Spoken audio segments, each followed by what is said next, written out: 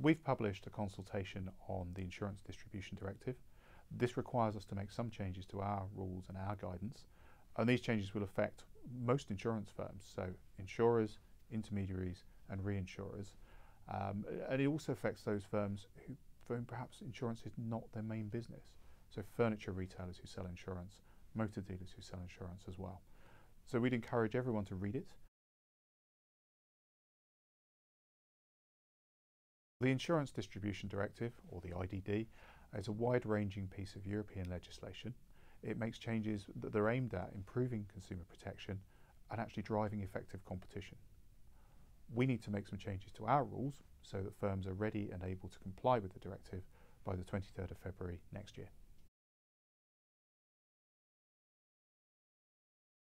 It considers things like the professional and organisational requirements.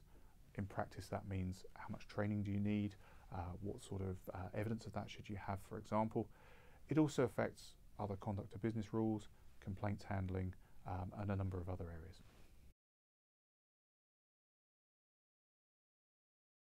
Implementation of the directive may seem a way away in February next year, but actually that's really close. We want firms to start thinking now about the changes they need to make. These could be changes to their organisational requirements in terms of how you do business. It could be around things like the training that you provide, but it can also be systems related.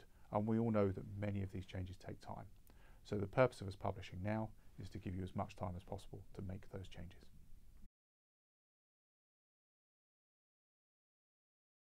This is a really important change for the insurance industry. It's something that we have to implement in our rules, and we need to make sure those rules changes are right. So it's vital that we get firms' feedback. Um, a lot of what we're doing is implementing European legislation, but actually that requires changes to what you do and how you do business, and that's implemented through our rules. So we very much encourage you to feedback